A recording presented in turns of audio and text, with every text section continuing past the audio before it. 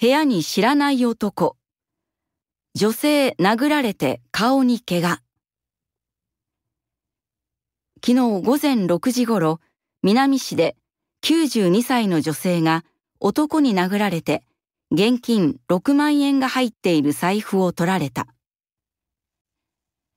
女性はアパートの近くへゴミを出しに行って、戻ったら知らない男が部屋にいた、と話している。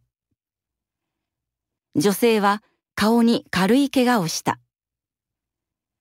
警察は男を探している。南市では先月からお年寄りの家に泥棒が入る事件が6件起きている。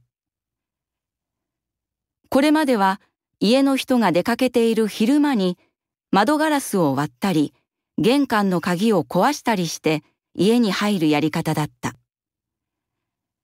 しかし、昨日の事件は朝早い時間に鍵が閉まっていないドアから中に入っていた。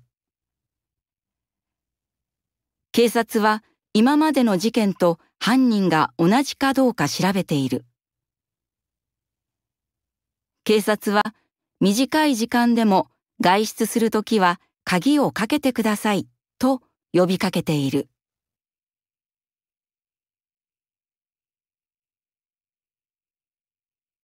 部屋に知らない男。女性殴られて顔に怪我。昨日午前6時ごろ、南市で92歳の女性が男に殴られて現金6万円が入っている財布を取られた。女性はアパートの近くへゴミを出しに行って、戻ったら知らない男が部屋にいた、と話している。女性は顔に軽い怪我をした。警察は男を探している。南市では先月からお年寄りの家に泥棒が入る事件が6件起きている。